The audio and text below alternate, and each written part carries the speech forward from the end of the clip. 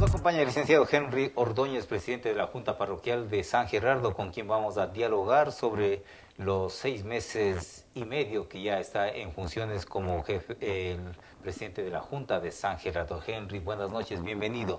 Coméntenos cómo ha sido esta experiencia nueva como dirigente de la parroquia San Gerardo. Bueno, un saludo cordial, gracias por la invitación, licenciado. Un saludo especial para la gente que nos ve a través de Achiras, para nuestra gente de la parroquia San Gerardo y, como siempre, a nuestra gente emigrante que llega pues, a este medio de comunicación. Bueno, para mí una experiencia nueva, pero asumía ya esta responsabilidad desde el primer momento de que eh, inicié eh, este, esta nueva etapa ¿no? dentro de mi vida.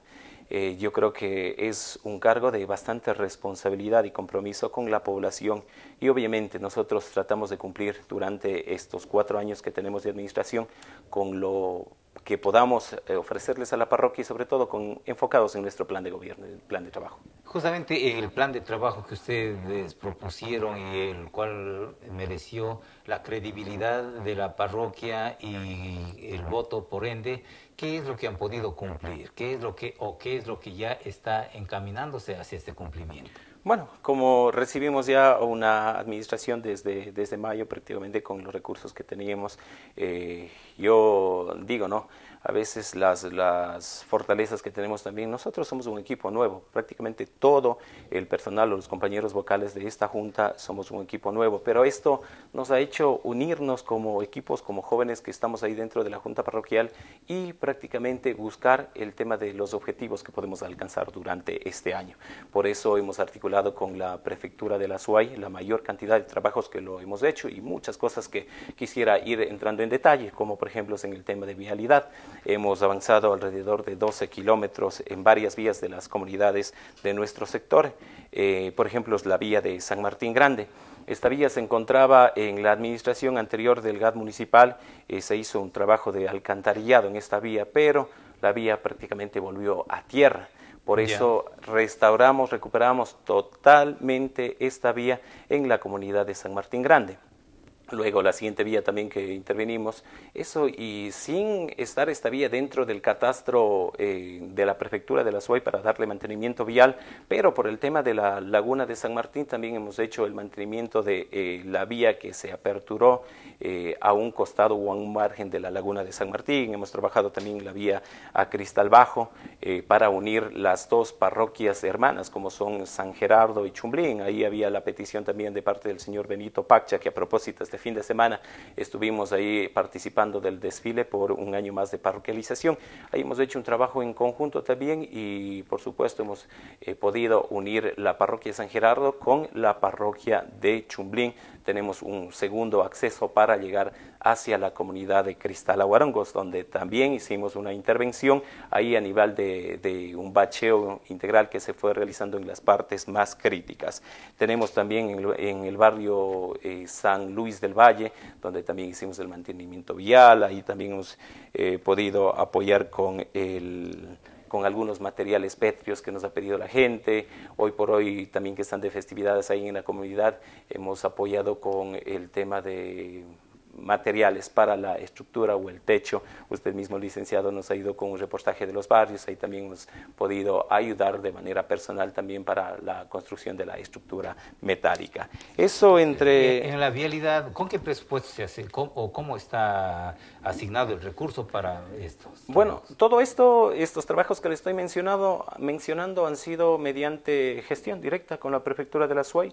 Eh, habíamos tenido una conversación y siempre ese agradecimiento que tenemos nosotros para el señor prefecto de la SUAY, Juan Cristóbal Lloret, eh, con el Departamento de Vialidad, nos habían enviado, fuimos, fuimos yo creo que los primeros en recibir eh, y gestionar el tema del equipo caminero y esto lo habíamos realizado directamente con ellos sin eh, el tema de, tener gasto adicional. Obviamente la contraparte desde el, la Junta Parroquial de San Gerardo, la contratación de algunas volquetas que nos ayudaron para poder agilitar el tema de estos trabajos. ¿Cómo está la vía hacia Cauquil, eh, hacia la laguna de Xogra? También eh, el apoyo no siempre será mutuo y grato. Ahí no pudimos ya ingresar con el equipo camionero de la, de la prefectura de la SUAY por el tema del tiempo. Estuvimos un mes y medio eh, la maquinaria interviniendo en todos estos sectores. Pero en el tema de la comunidad de Cauquil nosotros también estoqueamos primero el material y luego con la Junta y me gustó esa unidad también que tiene la, la, comunidad de Cauquil. Ahí pudimos hacer una minga en conjunto, contratamos el tema de maquinaria y pudimos hacer un bacheo justamente desde la comunidad de Cauquil hacia eh, el sector de la laguna de Xogra. Ahí también eh, realizamos ese mantenimiento. Y hablando en el tema de Cauquil, hemos dado también pues el apoyo importante. El sueño que ellos vienen teniendo desde hace ocho años atrás es contar con el riego. Es por ello que desde nuestra parte, con nuestro equipo técnico, también hemos ayudado con el tema de los estudios, con el tema también de la conducción de toda la tubería por donde va a ir pues este anhelado proyecto que lo lleva a cabo la comunidad de Cauquilo, obviamente con el tema de la prefectura de la SUAY. Y nosotros también, la competencia no lo tenemos directamente, pero lo que hemos podido, hemos apoyado, con maquinaria hemos hecho ya el terraplén del el lugar en donde va a estar ubicado pues ya el reservorio para eh, que se pueda acumular toda esta, esta agua. Esto todavía están con algunos permisos por parte de Senagua, ya le tienen adjudicado desde dónde se puede utilizar el agua para que puedan llevarlo a Cauquil. Eso también hemos avanzado. Un saludo para la señora Margarita Girón, quien es la presidenta pues, de esta comunidad en otro tipo de actividades, de obras, de trabajos que se hayan realizado, ejecutado o estén en proceso durante este periodo, Henry. Sí, nada más para, para eh, indicarles, ¿no? nosotros en el tema de Vialia, para salirnos de este tema, nosotros hemos firmado ya el convenio con la prefectura de la SUAY por un monto de 51 mil dólares, más un aporte también que nosotros tenemos desde el GAT parroquial de 43 mil dólares en material valorado. Esto vamos a hacer ahora el mantenimiento. Eh, de, las comunidades donde no hemos podido llegar con el mantenimiento vial. Por ejemplo, en la vía Bestión, la vía San Martín Chico, también tenemos en el sector del Redondel que se conoce en San Martín Chico, y también queremos ya dar un primer paso de mantenimiento en una vía que hace años aperturó el GAT municipal eh, de Girón, es la vía Bestión a Pucallpa, que une también a esta importante de la falla geológica, un poco más arriba también tenemos una vía en la que se ha considerado, para ello se ha hecho la socialización con cada una de las comunidades y hemos eh, decidido establecer también estos recursos que estamos ya trabajando, ya tenemos el tema del convenio, hemos adelantado ya con todos los procedimientos para poder avanzar. Esperemos que en los próximos, em, em, en, este mes, pues pueda salir también ya con Sería una segunda vía porque si hay conexión a Pucallpa por cristal, ¿no? Correcto, sí, sí, sí pero eh, por la solicitud también de la gente es un poco más cercano también que darse la vuelta por el tema del, del lago de cristal que tenemos y donde también hemos apoyado ahí en el tema de señaléticas con DPM también hemos puesto algunos espejos reflectores en esta vía. Ahora, en lo que concierne al centro parroquial, por ejemplo, hemos hecho algún mantenimiento. Al, la competencia directa, obviamente, lo tiene el municipio de Girón, pero... ¿En, las calles? En las calles del centro parroquial. Pero igual no podemos descuidar también el tema de las, de las vías que tenemos del centro parroquial. En estos días nomás habíamos hecho un mantenimiento de una pequeña vía peatonal que une eh, al centro de salud con la vía eh, Girón-San Fernando. Hemos hecho un mantenimiento eh, para que la gente pueda transitar. También, gracias gracias al apoyo incondicional de la prefectura de la SUAY, tenemos ya 150 metros cúbicos de material fresado, como acá en Girón también se están haciendo esos trabajos. Ya? Ajá, nosotros también hemos hecho las gestiones necesarias, incluso el material fresado ya lo tenemos en la parroquia San Gerardo, tenemos estoqueado todo este material y eh, obviamente adicionalmente en estos días ya estamos coordinando igual el material de la subase que se necesita para poder hacer estos trabajos. Ahí la prefectura nos ha echado una mano importantísima y también hemos pedido el apoyo al municipio de Girón eh, nos ha apoyado con tres días de la bañera que tiene acá y esperemos también pues que el señor alcalde pueda darnos unos días más ahí del tema de la bañera para poder seguir trayendo este material que nos servirá para mejorar eh, las vías del centro parroquial. Bueno, una aclaración aquí es material fresado, ¿no? Alguien ponía un comentario y dice material prestado, ¿cuándo van a devolver? Ah, ya.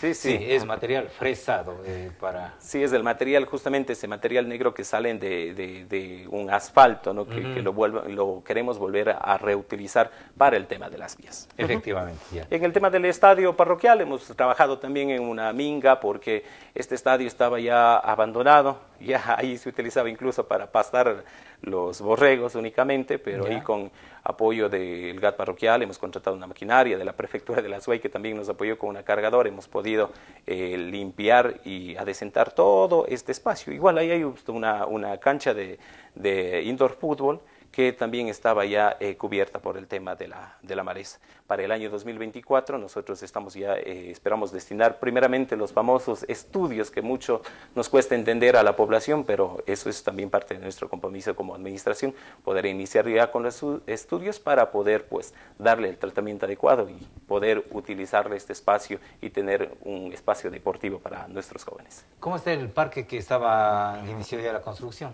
Ah, el parque eh, estamos en la segunda etapa, hay una inversión alrededor de 45 mil dólares en este parque en la segunda etapa, contempla el tema de drenajes, el tema de bordillos, el tema de colocación de, adoquín, hoy nomás estábamos visitando el parque en donde va avanzando. Esperemos que este, este mes de diciembre podamos ya concluir con la segunda etapa del parque, el nuevo parque que lo decimos, porque el parque que está al lado de la iglesia, de la iglesia. que es parte de la curia, ahí igual no lo hemos descubierto cuidado, hemos hecho el mantenimiento respectivo, el pintado de la pileta, en el cementerio también hemos dado el tema del pintado de los nichos, son trabajos y mingas que lo hemos venido realizando también desde nuestra institución. Eh, usted nos manifiesta que hay una buena relación entre los, eh, las personas que conforman la junta parroquial y ahora toda la junta parroquial eh, también tiene una buena relación con la municipalidad del Cantón Girón pues esto es importante para poder avanzar en proyectos, en obras y todo esto. Bueno, yo siempre lo diré, eh, el diálogo siempre debe eh, priorizarse, ¿no? Nosotros habíamos tenido al principio de nuestra administración muchos acercamientos y muchas conversaciones con parte, por parte del señor alcalde y nosotros siempre vamos a estar prestos a eso, ¿no? No hemos tenido todavía la intervención del equipo caminero dentro de la parroquia, eh, pero hemos hablado también con el señor alcalde y nos había ofrecido para en el mes de enero también poder tener el apoyo de, de, ellos eh, dentro de la parroquia. Y sí, hay algunos convenios que se han firmado, por ejemplo, es para la cuarta etapa de la recuperación de la, de la humedad de la laguna de San Martín.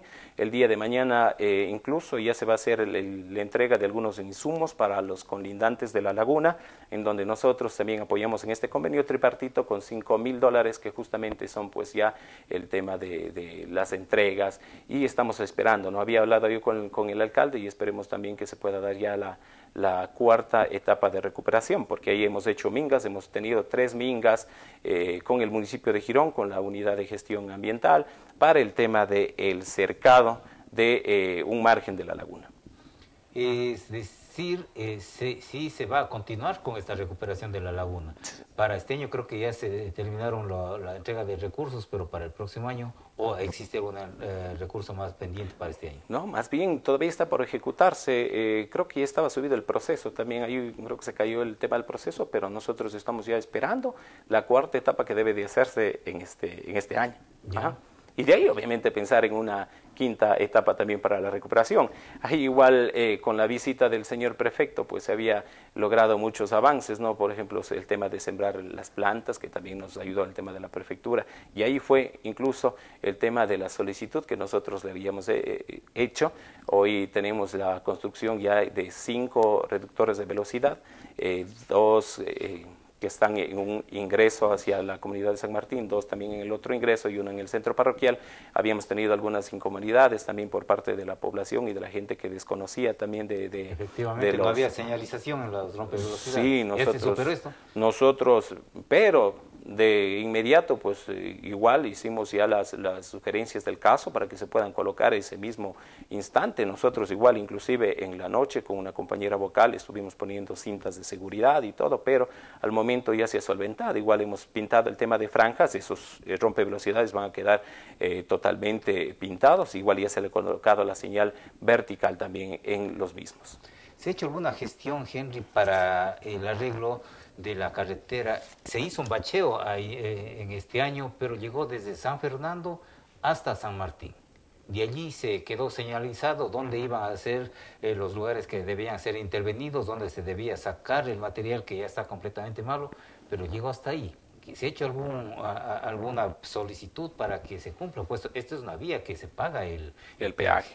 Sí, sí, más bien yo, eh, como decía el, señor prefecto, cuando tuvimos la visita también, hicimos el recorrido del asfalto, falta eh, continuar, ¿no? Desde el tramo desde San Gerardo hacia el Cantón Girón, donde hay algunos puntos críticos también, pero yo estoy convencido de que... Eh, con eh, todo el trabajo vial que lo viene realizando el prefecto inalcanzablemente, eh, lo va a considerar. Nosotros lo habíamos dicho, incluso creo que hay algunas partes que tienen que retirar totalmente el tema de la, de la capa asfáltica, porque ya no da para más. Pero nosotros sí hemos, en las reuniones que habíamos mantenido con él, también hemos pedido y hemos solicitado de que se pueda realizar el bacheo y se pueda culminar también en las partes más críticas que está dentro de eh, la vía Girón San Fernando.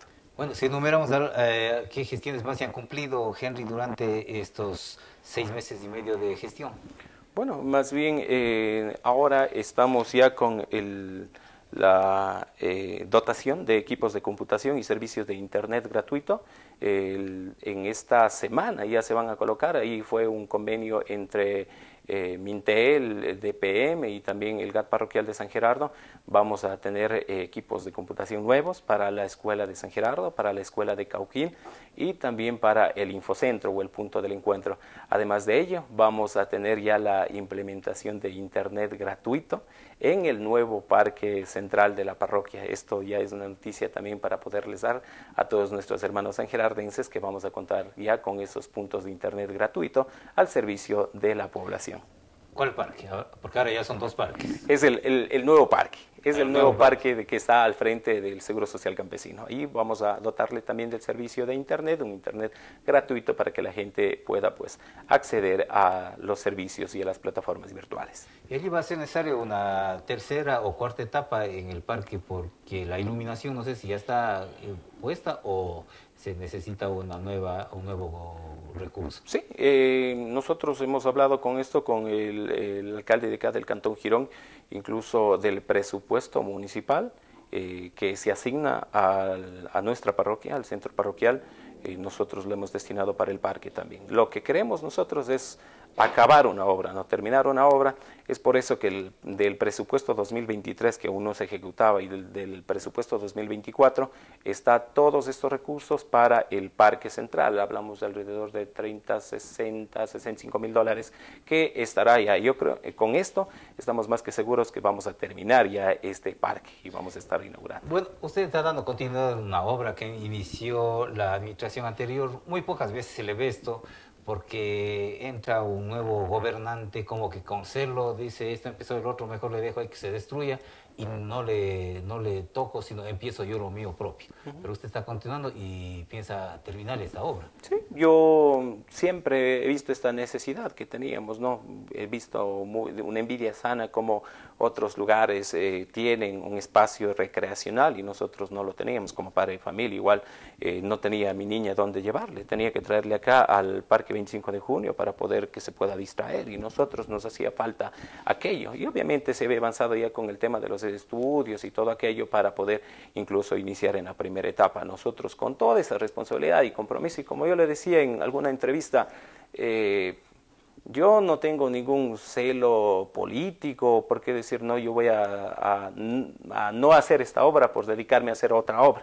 Nosotros lo que queremos es terminar, concluir el, parque central y obviamente también poder, luego de, que se termine esto, pues también dedicarnos a lo que es el tema del, estadio de la parroquia, el tema de la laguna de San Martín también, que necesitamos ir avanzando en estos temas. Bueno, y para ir eh, ya concluyendo con la entrevista, y justamente en este parque también se tiene preparado un programa ya, el programa navideño ya acá en San Gerardo. Sí, queremos hacerles la invitación como Administración 2023-2027. Eh, estamos eh, programando el encendido de las luces navideñas para este viernes 8 de diciembre desde las 18 eh, horas, 6 de la tarde. Vamos a tener algunas actividades como villancicos, tenemos, algún, tenemos el agasajo navideño también para nuestros niños, adultos mayores y lo más esperado Eh, hoy nomás consultaba el árbol de acá de Girón que se encendió recientemente, eh, está por los 8 metros, en el Asunción también se encendió el árbol de Navidad, pero a nivel del cantón tenemos ya un árbol de 10 metros de altura que lo hemos implementado. Es un árbol muy bonito que va a quedar iluminado y lo vamos a estrenar con ustedes, hermanos sangelardenses, porque yo siempre lo decía, cuando nosotros poníamos un piso de caucho en la escuelita de San Gerardo, yo decía, pero eso es, no, nosotros también es la dignidad de poder contar lo que se tiene en otras ciudades, ¿por qué no tenerlas nosotros? No teníamos el tema del árbol y por eso hemos consensuado con todas las compañeras y decimos, también necesitamos tener este símbolo de, en esta época navideña, es por eso que está ya la estructura, está armándose la estructura y el día viernes les esperamos, hemos hecho ya las invitaciones a todos eh, los presidentes, eh, Incluso hoy nos visitaban algunos concejales, también estábamos haciéndoles llegar la invitación para que nos puedan acompañar en este encendido de luces navideñas, que más allá de, este hecho simbólico, yo creo que es mucho para llevarnos a la reflexión de poder eh, ver las cosas buenas, ¿no? poder iluminar esa luz y encenderlas en nuestros corazones sobre todo. Bueno, y muy aparte de la creencia de la religión que cada quien pueda tener, eh, es su momento de subir la autoestima y, todo ello. Y cuando tenemos eso en mejor forma, todas las cosas nos salen mejor. Sí, sí, incluso, que me hizo acuerdo en el tema religioso, nosotros ya para el 23 tenemos el Pase del Niño, donde hemos involucrado a las comunidades, a las asociaciones. Eh, igual estoy yo, pues, soy el encargado del tema del niñito, pues, o el prioste, y lo hemos hecho con todo el cariño y toda la humildad que mientras esté ahí durante estos cuatro años y con el apoyo de cada una de las compañeras vocales, del equipo técnico, nuestra... Eh, eh, secretaria que nos ha ayudado mucho en toda esta administración, pero lo importante es eso, no poder sacar las cosas que mientras nosotros estemos ahí, yo creo que lo haremos sin ningún egoísmo y demostrando que nosotros podemos hacer, porque ese ha sido nuestro compromiso. Bueno, queremos agradecer a Henry Ordóñez, presidente de la Junta Parroquial de San Gerardo, por su presencia. Gracias, Henry. ¿Algo más que acotar a lo mejor? Más bien, eh, bueno, se quedó corto el tiempo para poder eh, decir de todas las actividades que lo hemos venido haciendo, pues esperemos durante el 2024 poder continuar con la misma fuerza, con el mismo anhelo que iniciamos desde el primer día por buscar el mejor desarrollo, desarrollo para nuestra parroquia Gerardo. Bueno, tendremos oportunidad de más diálogos y también de, visitas a la parroquia. Este medio está abierto siempre a todos los sectores que involucran nuestro cantón Girón. Eh, volvemos de una pausa y estaremos dialogando con María Alejandra Vallejo, reina del Cantón Giro. Ya volvemos.